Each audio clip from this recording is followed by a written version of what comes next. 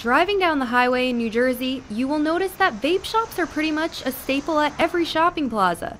But that may not be the case come April. A lot of places are going to have to close down. Earlier this week, Governor Murphy signed a law banning the sale of all flavored vape products, including menthol, making New Jersey one of the first states behind Massachusetts that banned the sale of all flavored tobacco products.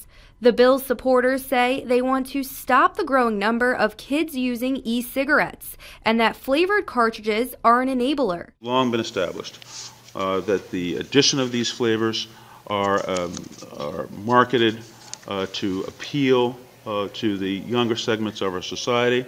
The owner of Revolution, a smoke shop in Freehold, says he's not concerned for his business. I'm more concerned for the customers because I don't want people to have to go back to smoking cigarettes if they're really used to smoking uh, vaping flavors.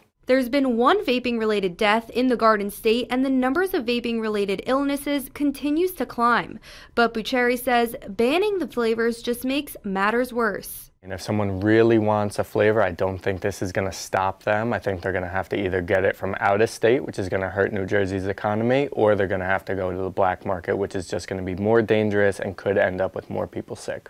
Vaping products sold in stores are FDA regulated, but on the black market, there's no control over what is being put into the cartridges can make it however they want and there's no responsibility for them. And also, they're not going to care if someone's over 21 or under 21 if they're already doing something illegal.